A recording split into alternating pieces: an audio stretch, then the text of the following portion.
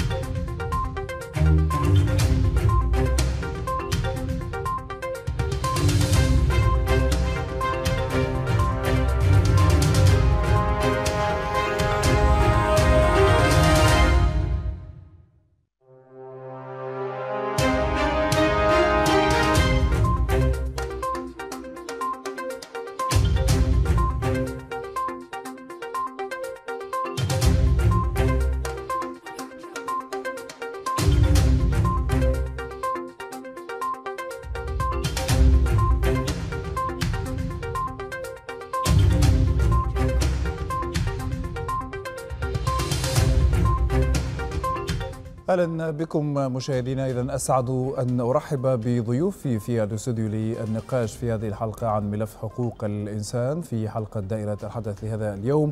الأستاذ عبد الله آدم خاطر الخبير الإعلامي والكاتب الصحفي والمحلل السياسي. أهلا ومرحبا بك وشكرا على تلبية الدعوة. آه مرحب بك ومرحب بضيوفك الكرام. أهلا, أهلاً. وسهلا. آه ويمتد الترحاب للأستاذ صالح محمود مدافع عن حقوق الإنسان ورئيس هيئة محامي دارفور أهلا ومرحبا بك. أهلا مرحب ومرحب بالمشاهدين وشكرا جزيلا وبكنا أهلا بك. أهلا بكم ودعنا نبدأ أستاذ عبد الله اولا بالسؤال الأبرز الذي يعني نريد أن نسلط الضوء من خلاله على أبرز الانتهاكات وملامحها التي وضعت السودان في البند الخاص بالإجراءات الخاصة في ملف حقوق الإنسان، إذا أردنا أن نرصد ونعدد أبرز الانتهاكات. آه نعم. آه ليس هناك ما يمكن أن يقال آه هناك انتهاكات آه خاصة أو انتهاكات فظيعة إنما كل انتهاكات فظيعة بحق الإنسان. ولكن الإجراءات الخاصة. نعم ولكن بدء هذه الإجراءات لها جانب دولي وجانب محلي. الجانب الدولي والإقليمي وكلاهما مهم بأنه يعني خلال تلك الفترة كانت هناك يعني دوائر انتهاكات كثيرة في أفريقيا خاصة في بولندي وكذا. هذه قبل عشر سنوات من أحداث دارفور. وكان هناك إهمال يعني قد لا يكون متعمد ولكن كان إهمال ملحوظ يعني في في الذهن الدولي وده أثر تأثير كبير جدا عندما برزت الحاجة في دارفور إلى نوع من العون الإنساني. إذ برزت الواقع في دارفور كمسألة لا يمكن أن يقبلوا الضمير الإنساني.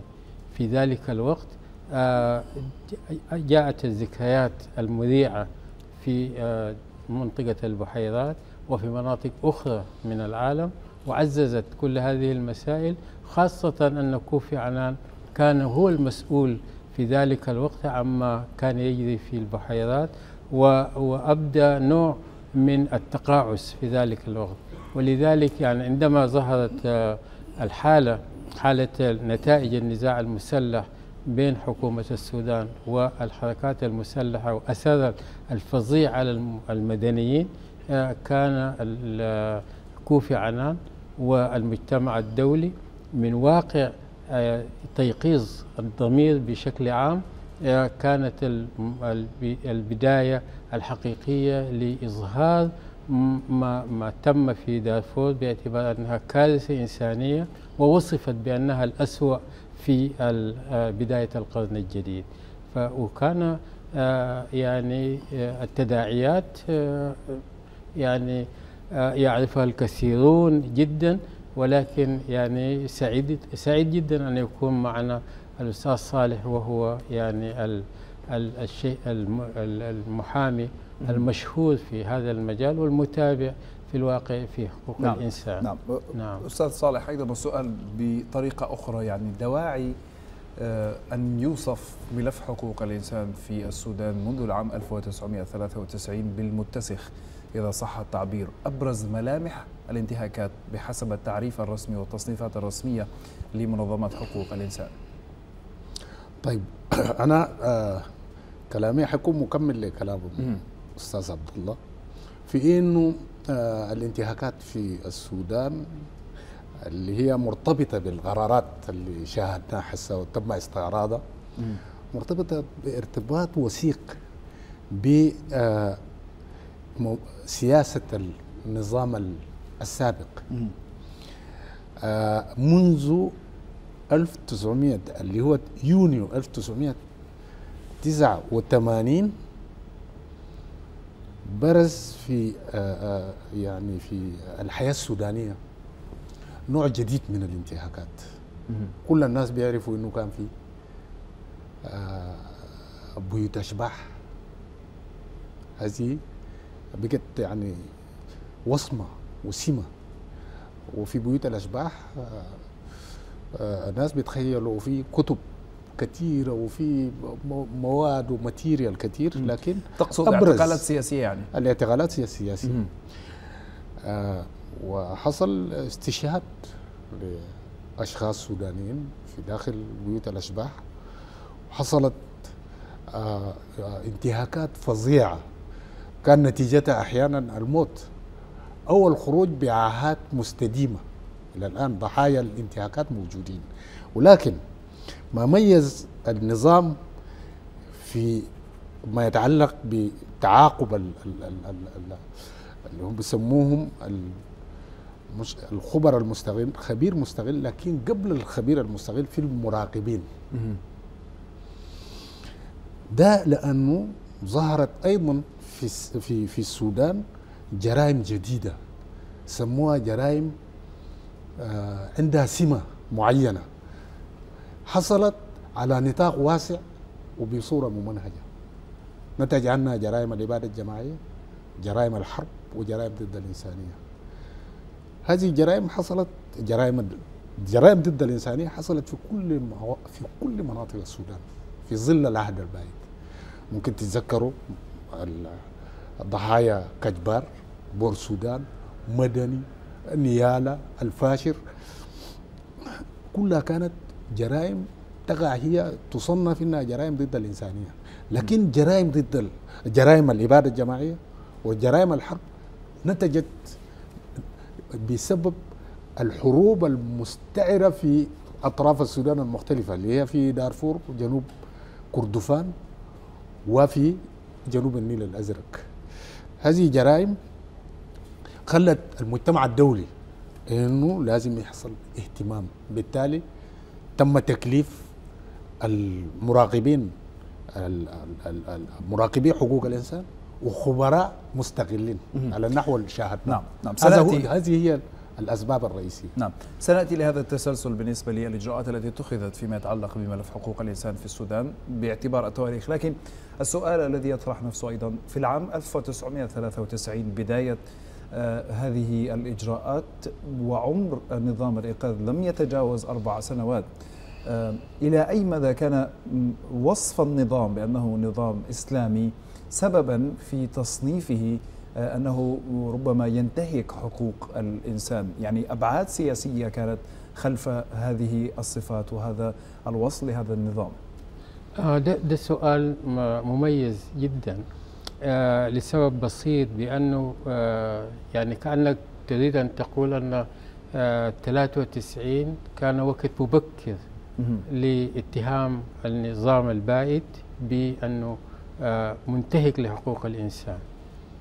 وهذا صحيح ولكن يجب أن نؤكد مرة آه، بشكل واضح بأن المجتمع الدولي أو المجتمع الإقليمي سواء كان أفريقيا أو عربيا لم يعني آه، يجعل التطبيق الإسلامي أو شعار الإسلام مدخل لاتهام السودان بانتهاك حقوق الإنسان مطلقا في ذلك الوقت. لأن الإسلام كان موجود في السعودية موجود يعني في دول كثيرة أخرى وهي تتحدث عن أنها هي دولة دول إسلامية. وليس مبرر وليست ليست مبرر لذلك. يعني. ولكن النظام النظام البائد بدأ من البداية بثلاثة محاور من السياسات هي اللي آه، آه، خلت الأثر الأكبر في المتابعة الدولية؟ مثلا الأول النظام النظام الأمني اللي يتبع فلا يمكن أن تتحدث عن نظام إسلامي ونفس النظام يتبع آآ آآ يعني إجراءات أمنية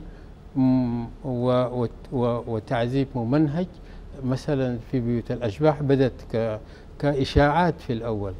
ولكن يعني برغم ما النظام حاول يغطي هذه المسائل والانتهاكات الشخصية التي حدثت ولكن المجتمع بحكم الإنسان السوداني بفطرته ضد الاضطهاد وضد التعذيب وضد هذه المسائل يعني طلعت بشكل واضح للعالم الخارجي. وكذلك طبعا في كل أنحاء السودان الأخرى كل انتهاك كل انتهاك طلع للعالم.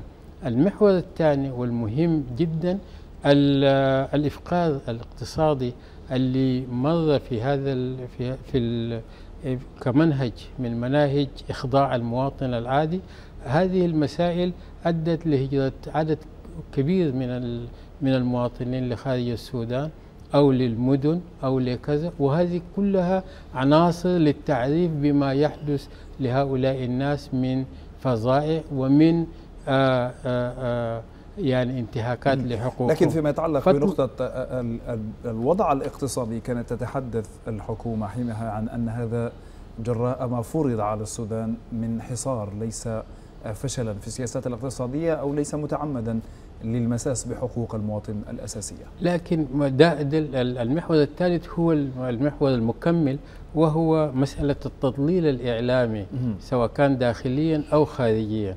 فالمدخل اللي دخل به آه، يعني مسألة آه، أذهب إلى إلى إلى القصر رئيسا وأذهب إلى آه، السجن حبيسا, حبيسا.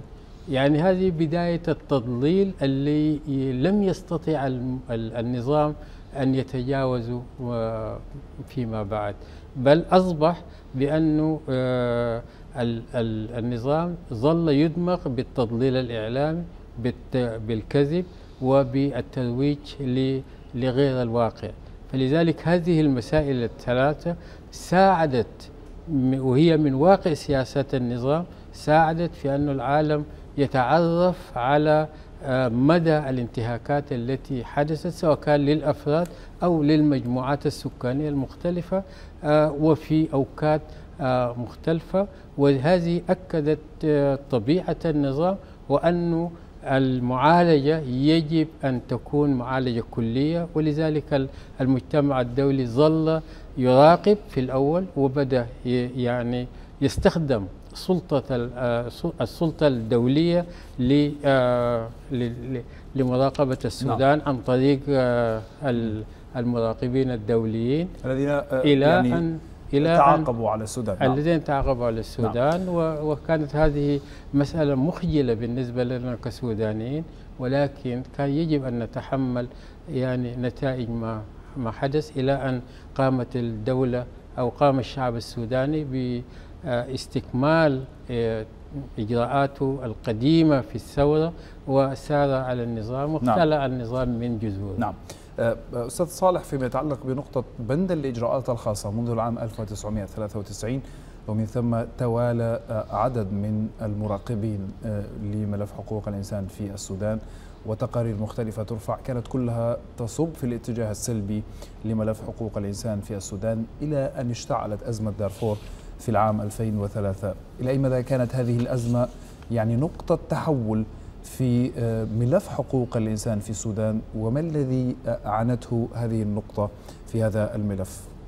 طبعا النظام منذ البداية في 30 يونيو طرح برنامج اسمه مشروع المشروع الحضاري. وده كان مبرر للتنكيل بالخصوم السياسيين.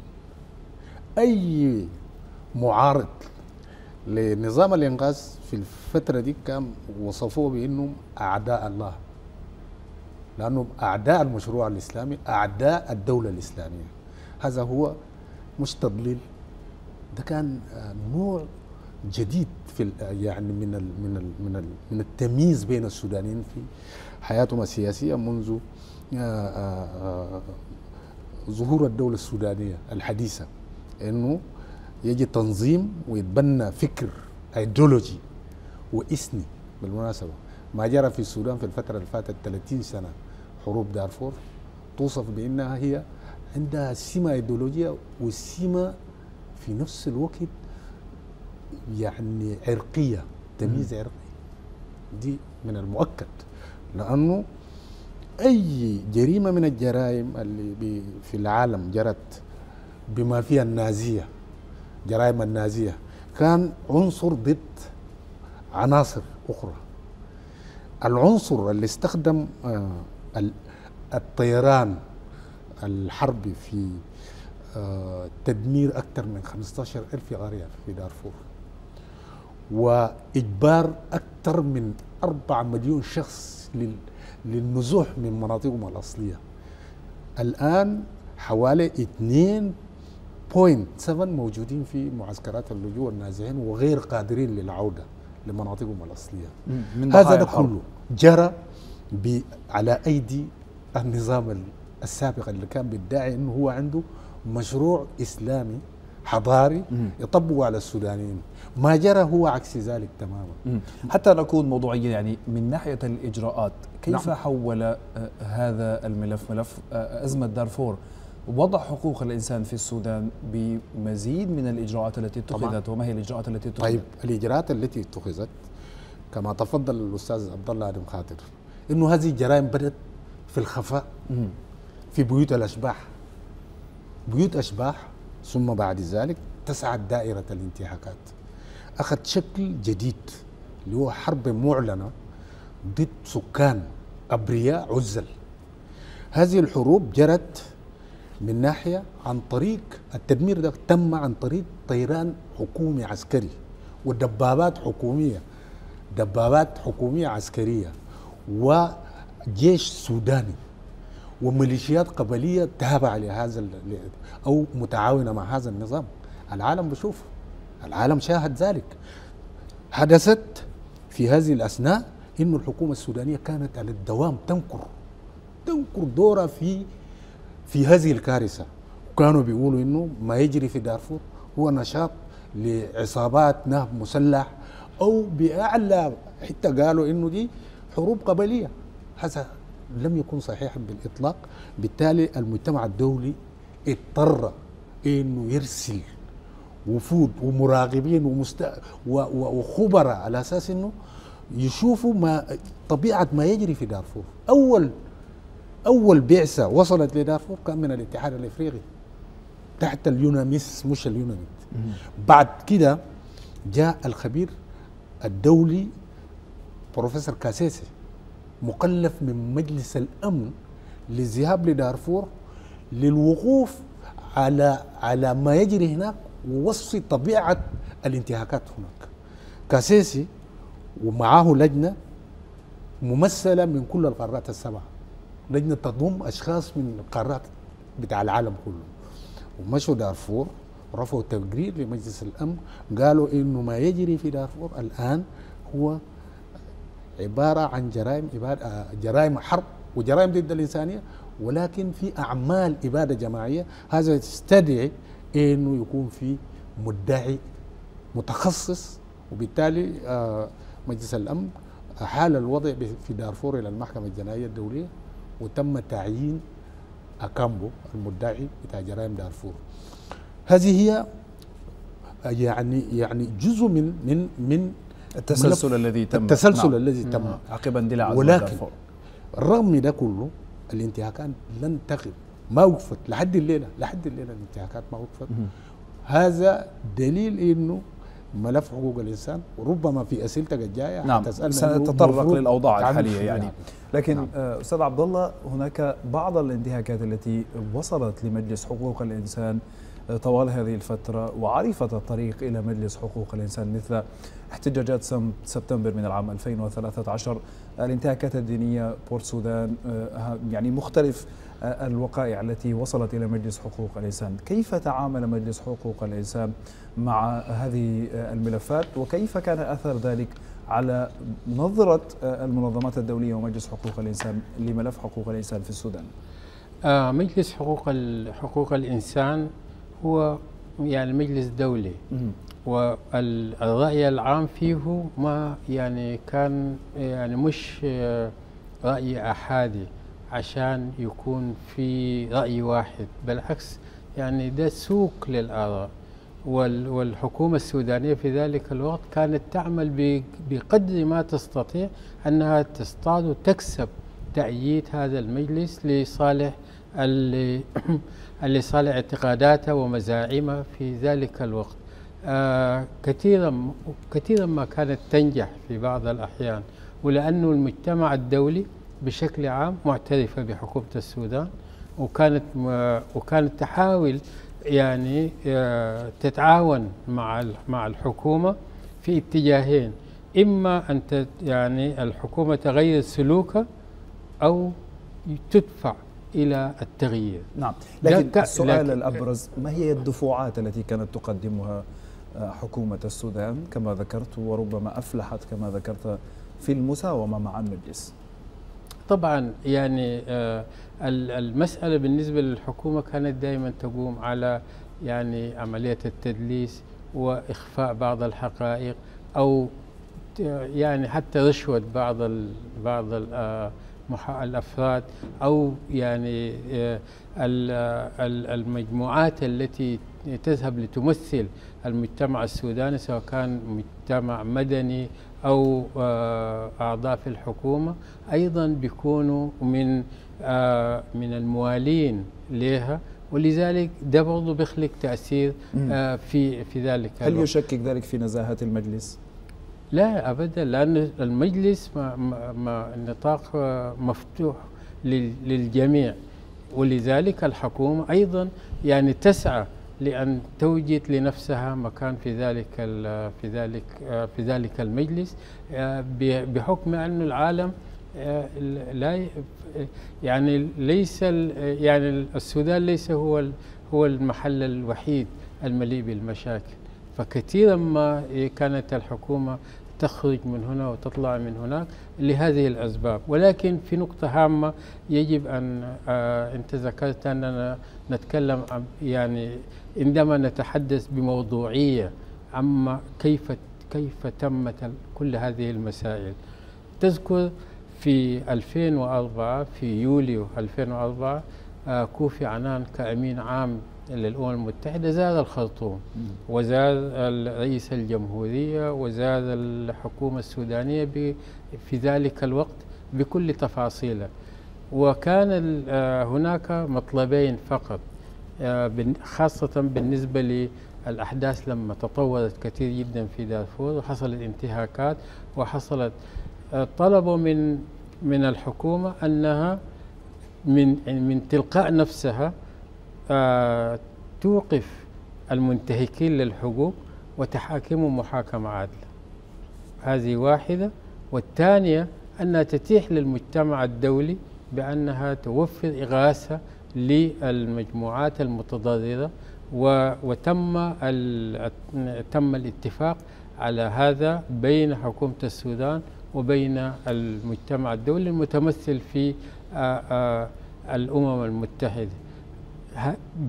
بمدخل هذا الاتفاق تمت كل التصعيدات التالية نعم. في في والإجراءات التي اتخذت. والإجراءات التي تمت وهي كانت بشكل درامي بشكل يعني لا يصدق نعم. أنه آه، لذلك الحكومة هي دائما كانت في ذلك الوقت وبكل أسف الحكومة البائدة بحكم آه، عدم مقدرتها على تصور على على عدم تصور الموضوعية كانت كأنها توظف نفسها يوم بعد يوم إلى أن وصلت إلى ما وصلت إليه. نعم، حتى ننتقل إلى محور آخر أستاذ صالح، ما الذي يعنيه باختصار وبوضوح بالنسبة للمشاهد البسيط؟ ما الذي يعنيه انهاء ولاية الخبير المستقل آه، لملف حقوق الإنسان في السودان بالإجماع من مجلس حقوق آه، الإنسان والذي آه، تم بالأمس؟ وما الذي يعنيه أيضا التنقل بين البنود من البند الرابع والبند العاشر وما إلى ذلك؟ باختصار وبصورة واضحة. والله باختصار أول حاجة أنا بختلف مع أستاذ عبد الله في أنه مجلس الأمن مش مجلس الأمن مجلس, مجلس حقوق الإنسان, الإنسان آه يعني ممكن نطلق عليه أنه مجلس نزيه هذا غير صحيح. لأنه بالنظر لأنه المجلس ذاته حصل له تطور. أصلا المجلس كان بيسموه لجنة حقوق الإنسان. اللجنة دي كانت العضوية فيها تتم بمعايير صارمة. الدولة اللي بيكون في اللجنة يجب أن تكون يعني دولة مشهود لها بأنها تحترم كرامة الإنسان وتحترم حقوق الإنسان حتى يتاح لها أنها تكون عضو في المجلس. الآن بعد ما تحول تحولت اللجنة إلى المجلس أتيحت الفرصة لكل الدول أنها تكون نعم. حتى الدول المنتهكة. ما أضر بالسودان وبالنظام السابق وبالمواطنين السودانيين إنه الحكومة السابقة كانت تعتمد على كتل موجودة وهي معروفة بأنها هي ذاتها ضالعه في الانتهاكات. وأنا بقول الكلام ده. الكتلة الإفريقية غالبية الدول في إفريقيا كلها دول ديكتاتورية. وأصروا إنه يقولوا ما في رئيس في أثناء فترة وجوده في الحكم إنه تتم محاكمته. ده هو مجلس آه، ال- ال- الاتحاد الإفريقي. المجموعة العربية. المجموعة الإسلامية كلها كانت تساند هذه الحكومة على حساب على حساب آلام الضحايا في السودان. نعم. نجي لسؤالك الثاني. عشان كده المجلس ما نزيه. لأنه فيها الكتل دي وفيها الناس المنتهكين لحقوق مواطنين. نعم. وضحت طيب. بس يا طيب. صالح. بس داير أقول نعم، داير أقول داير أقول حاجة ما ثانية يتعلق ب في في ما يتعلق التطور الأبرز في بالتطور هذه- الأبرز في إنهاء ال ال ال ولاية الخبير المستقل الخبير. والتنقل بين البنود طيب ما الذي يعني ذلك؟ ده ده كان متوقع تماما ليه؟ لأنه السودان كان أصلا في البند الرابع. تحت مف- تحت ال- المراقبين دائما المراقبين عملهم مختلف من الخبير المستغل المراقب عمله مختلف تماما الخبير المستغل من جابوه تحت البند العاشر هو جابه على أساس إنه يقدم المساعدات الفنية للحكومة السودانية لإجراء إصلاحات جوهرية وأساسية في كل مؤسسات العدالة، ليه؟ لأنه التطورات اللي شفناها في القرارات دي كلها العامل الحاسم فيه إنه كان في غياب عدالة. رغم آلام الضحايا ورغم فظاعة الانتهاكات إلا وإنه الحكومة السابقة القضاء السوداني وصف بأنه غير قادر وغير راغب في تطبيق العدالة عشان كده لما ما تكون في عدالة عنصر العدالة غايبة. كان لابد من وجود ناس من هذا النوع من مجلس الأمن. هي طبعا مجلس الأمن تتخذ القرارات بناء على توصيات من مجلس حقوق الإنسان. بالتالي غياب عنصر العدالة هو ده كان العامل الحاسم في إنه الوضع في السودان في ظل هذه الجرائم الفظيعة اللي هي تعتبر الأفظع في العالم الآن. لابد يعني أنت تود أن تقول أن تدهور ملف حقوق الإنسان نقل السودان بين هذه البنود ومن ولاية آه، أو من آه، الخبير آه، أو يعني من من المراقب مراقب إلى الخبير إلى خبير مستقل. نتيجة لتدهور ملف حقوق الإنسان. حقوق الإنسان ونتيجة لغياب العدالة. نعم. ما الذي يعنيه الآن إنهاء ولاية الخبير لا المستقل يعني أي شيء. بالعكس الآن بوجود المكتب القطري ل- مش المكتب القطري مكتب مفوضية حقوق الإنسان. التابع للامم المتحده في الخ... في قلب الخرطوم وبمكاتب في الأقاليم.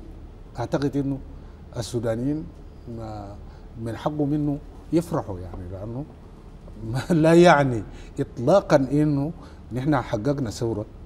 حتى لو جات حكومة مدنية إنه الانتهاكات انتهت. بالعكس الحكومات المدنية ممكن تتحول لحكومات ديكتاتورية أفظع من العسكرية. وهذا ما نشاهده الليل, الليل. بعد مرور عشر س... بعد مرور سنة كاملة الآن بدأت دائرة الحقوق تتراجع بصورة مزعجة. سنأتي للوضع بالضبط. الآن بعد عشان كده هذه عشان القرارات كده الصادرة. لكن الخبير المستغل في وجوده عشان يقدم مساعدة فنية للحكومة السابقة أو للحاليه ما كانوا مت... ما, ما عندهم استعداد. فإذا وجوده ما عنده أي معنى. لأنه هو وجوده فقط لتقديم المساعدات الفنية وده ما لقى أي قبول لا من الحكومة السابقة ولا من الحكومة الحالية. نعم سنأتي للوضع الآن لكن آه، آه، أستاذ عبد الله فيما يتعلق بجزئية آه، مكتب المفوضية السامية لحقوق الإنسان في السودان. تم التوصل لهذا الاتفاق في أواخر عهد نظام الإنقاذ وكذلك تم الانتقال من بند إلى آخر. آه، في آه، ملف حقوق الإنسان أيضا في أواخر عهد نظام الإنقاذ، ما الذي يعنيه ذلك؟ آه، وإلى أي مدى هناك تسويات سياسية ودبلوماسية يمكن أن تدخل في الأمر؟ نعم بس أنا دا أبدأ من ال... تستطيع أن تعقب لكن في عجالة. أيوه. حيب آه، ال- المجلس مجلس حقوق الإنسان آه، مجلس دولي وعالمي لكن كونه يكون مليء بالفاسدين لا ما قلنا فاسدين ما أو منحازين للحكومة أو السابقة أو مليئة ويمكن أن تجاوب في سياق السؤال أيوة. إلى أي مدى هناك تسويات سياسية ودبلوماسية أيوة، آه، ممكن. ساهمت في آه، تنقل السودان من بند إلى آخر أيوة. وما وصل إليه الوضع بس أنا دي- بمكتب المفوضيه أيوة، آه، دي- الساميه لشؤون نعم، آه، نعم. حقوق الإنسان بس دي ما بتنفي يعني أن المجلس بالفعل آه، نزيه باعتبار أنه ال- القرارات تطلع من المجلس لأي بأي حال من الأحوال بيأثر في قرارات مجلس الأمن. حتى ولو كان في مجموعات منحازة أو كذا يعني مم. والناتج تنسيق كان وال- نعم. والناتج أننا يعني بالنسبة للسودان يعني خطونا خطوات آه، كبيرة جدا بسبب الضغط على النظام ال- ال- ال- البائد والنظام السابق. يعني تم الضغط عليه دوليا وإقليميا ولكن أيضا من الناحية الفكرية آه، في داخل السودان المفكرين السودانيين والمجتمع المدني استطاع يعمل تأثير كبير جدا على الحكومة بأنه يقبل الواقع الدولي اللي ضاغط عليه من أجل يعني آه، حقوق الإنسان بشكل آه، بشكل جيد على الأقل. والعملية دي لما والإجابة على سؤالك طبيعيا أننا كشعب سوداني آه، أكدنا في الوثيقة الدستورية بأن الش- الشعب السوداني على مسافة واحدة من كل شعوب والدول في العالم.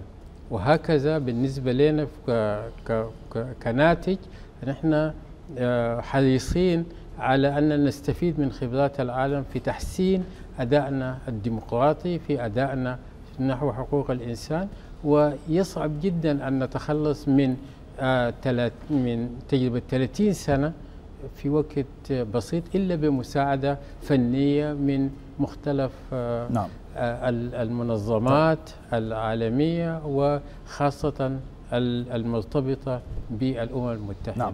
نعم. أستاذ صالح فيما يتعلق بالثورة التي تحققت في السودان إلى أي مدى كانت محفزا لتغيير رؤية مجلس حقوق الإنسان تجاه السودان وإنهاء ولاية الخبير المستقل الذي تابعناه بالأمس وتبنى المجلس قرارا بالإجماع؟ ما الذي يمكن أن يعنيه ذلك؟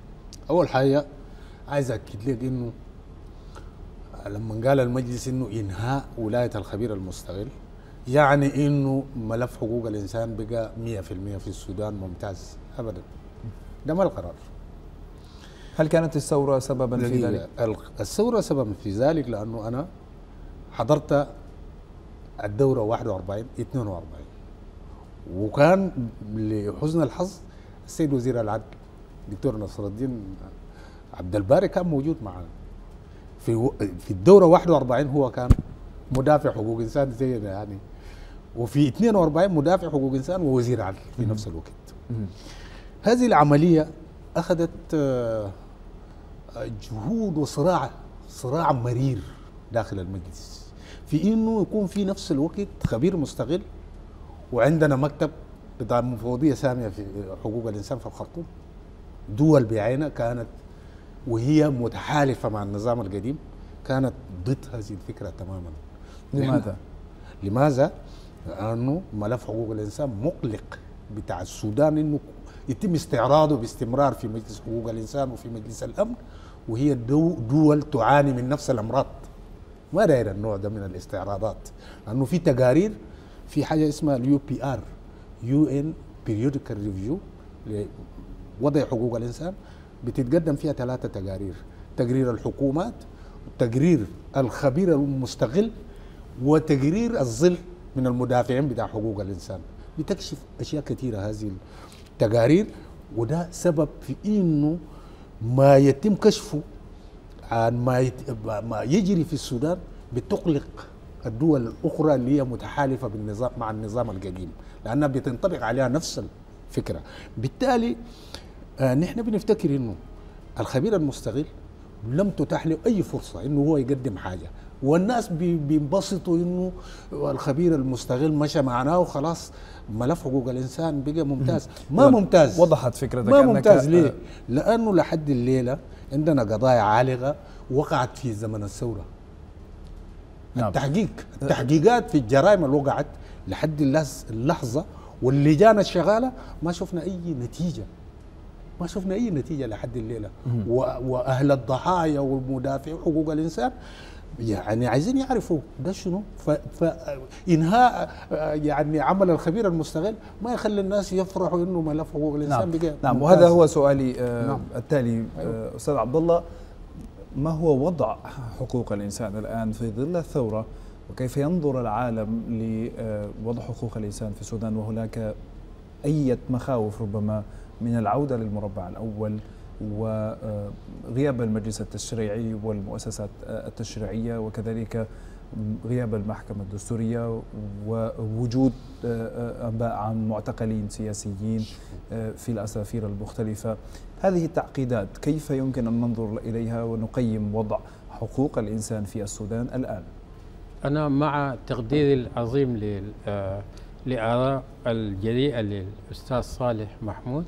ولكن مهما كانت الظروف نحن الآن دولة حرة ودولة متجهة نحو الديمقراطية ونستطيع أن نعبر عن آرائنا ونحن نفس آه، أنفسنا كشعب سوداني مع حقوق الإنسان وندافع عن حقوق الإنسان ولذلك اليوم آه، الشعب السوداني ينتظر أن يعرف غدا أو في أقرب وقت ممكن آه، نتائج آه، آه، لجنة الأستاذ نبيل أديب عن موضوع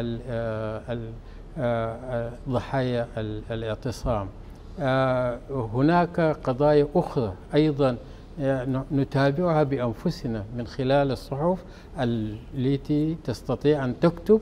المواطنين الذين يستطيعون أن يتظاهرون وعن آه، منظمات المجتمع المدني التي تضغط على الأجهزة بتاعة الدولة وكذلك ال ال ال النائب العام اللي ننظر له كمعيار من معايير العدالة المستقبلية ومع الضغط عليه في كل الأحوال. ولذلك يعني مهما مهما كانت آه، الدوائر في في الوقت الراهن الدوائر اللي تعمل في مجال حقوق الإنسان. نحن كشعب سوداني الآن آه، أقوى تلك الدوائر في الحفاظ على حقوقنا كحقوق كحقوق يعني حقوق الإنسان بالنسبة لنا جميعا. وننتظر أيضا يعني العون الفني والعون الإنساني من المجتمع الدولي ومن فيما يتعلق بحقوق الإنسان. نعم. نعم. أستاذ نعم. صالح وضع حقوق الإنسان الآن في السودان هل هناك أي مخاوف من أن يتم إعادة النظر آه، لملف حقوق الإنسان في السودان إذا حدث تراجع؟ كيف آه، تصف الوضع الآن؟ الوضع الآن آه، يدعو للغلق. لماذا؟ لأنه نحن العامل الحاسم في إنك أنت تتعامل مع الانتهاكات سواء كان بالتقليل منها أو أو أو أو يعني يعني آه ما هي أوجه هذه الانتهاكات؟ أوجه هذه الانتهاكات كالآتي مش أوجه الانتهاكات المؤشرات إنه الوضع خطير مم. ليه؟ مم. لم يتم حتى الآن إلغاء القوانين اللي كانت سبب في ارتكاب الجرائم والفظائع في 30 سنة الماضية وعلى راسها قانون قوانين سبتمبر السودان لحد اليوم بعد مرور سنة خلي الحكومة اللي فاتت. الحكومة الآن ما وقعت على اتفاقية منع التعذيب. وده ده اتفاقية مهمة جدا. ما وقعت على اتفاقية سيداو الآن المحاكمات تمت قبل يومين ثلاثة أو كم أسبوع كان تحت قانون النظام أو سموه بسبب الإزعاج العام. هذه كلمة فضفاضة. هذه مخاطر كبيرة. دي عودة النظام قوانين النظام العام. نعم. نعم. بدون إلغاء هذه القوانين طيب. قانون الأمن لم يتم الغاءه طيب. الطوارئ بدأت يعني أصبحت تستخدم لأغراض سياسية. طيب هذه طيب. مخاطر حقيقية. طيب. طيب ده بدونه بدونه أصلا هذا الوضع وضع يدعو للقلق. طيب وضحت الفكرة. في أقل من دقيقة ما الذي آه، يعني وجود مكتب للمفوضية السامية لحقوق الإنسان في السودان؟ ومن المطلوب من آه، السودان لهذا المكتب؟ من السودان مطلوب التعاون الكامل مع هذا المكتب. وما هي اختصاصات هذا المكتب؟ اختصاصات هذا المكتب اختصاصات واسعة. منها ال- ال- المراقبة. والتوثيق وتقديم التقارير والتوصيات لمجلس حقوق الإنسان ومن ثم لمجلس الأمن. نعم وضحت آه، أخيرا أستاذ عبد الله ما هي النصائح الذي يم- يعني يمكن أن تقدمها لحكومة الفترة الانتقالية في مجال حقوق الإنسان والمكتب آه، المفوضية السامية لحقوق الإنسان في السودان؟ أن تتعاون تعاون مطلق مع مع المكتب ولكن هذا لا يعفي الشعب السوداني من أن يضغط آه، بشكل أفضل وبشكل أشد من أجل حقوقه بشكل عام وتحقيق ذلك على مستوى مراجعة القوانين على مستوى تحسين الرؤية الدستورية للمستقبل وبأن يكون عندنا آه، دستور آه، يحفظ آه، كل المبادئ اللي تكلمنا آه، واتفقنا عليها الديمقراطية سيادة حكم القانون المواطنة أساس للحقوق والم... وال... للحقوق والواجبات وكل ال... ال... ال... المحاور ال- الدستورية الضرورية. نعم. ولذلك الضغط يجب أن مع التقدير يا أستاذ صالح الضغط يجب أن يكون من الشعب بوعي وبفهم ولأنه ثورة ديسمبر ثورة أتفق معك. وهي مش فهم. حقوق سياسية نعم. فقط. إطلاقاً. هي حقوق اجتماع حزمة من ال- نعم. من الحقوق اللي وارده في. ال في ال في العهود الدولية. نعم. المختلفه نعم اشكركما جزيلا الأستاذ عبد الله آدم خاطر الكاتب الصحفي والمحلل السياسي والخبير الإعلامي. شكرا جزيلا تسلم، لك. تسلم. وأيضا شكري للأستاذ صالح محمود رئيس هيئة محامي دارفور ومدافع حقوق الإنسان. شكرا جزيلا. شكرا نعم. جزيلا. وفي الختام لم يبق لي مشاهدينا الا أن أشكركم على على حسن المتابعة. تحياتي وفريق العمل. إلى اللقاء.